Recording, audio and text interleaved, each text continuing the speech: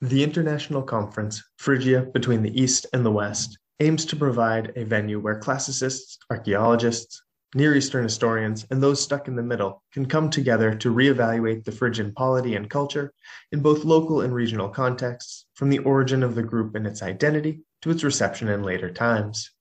This conference is a collaborative effort between the Institute for the Study of the Ancient World at New York University and the University of Pavia in Italy, and it is supported by the organizations of Digital Hammurabi and Save Ancient Studies Alliance. Our hope is that this event can bridge scholarship from East and West, both in terms of connecting distinct disciplines and in terms of bringing together scholars from across three continents, not to mention opening the discussion to a public global forum. If you are tuning in for the first day, you will find a single keynote presentation on Phrygian Etruscan interactions. For the following two days, the program is organized around four themes power and identity, exchange and interaction, monumental, figural, and textual expressions of culture, and memory and reception, particularly in Greco Roman times.